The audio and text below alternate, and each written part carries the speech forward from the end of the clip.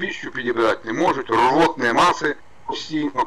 Е, те, що написано на бумазі, було, що там круглосуточно буде біля нього хтось знаходиться е, 24 години, 24 хвилини ніхто не знаходиться, тільки батько і мати. Нас звідси забрати, не доведи Господі, то ми перевеземо в Україну трупа, розумієте?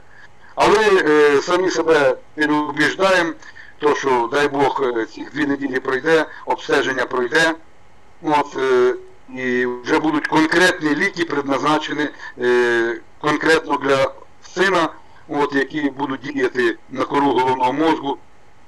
Тим словом, надіємося на краще.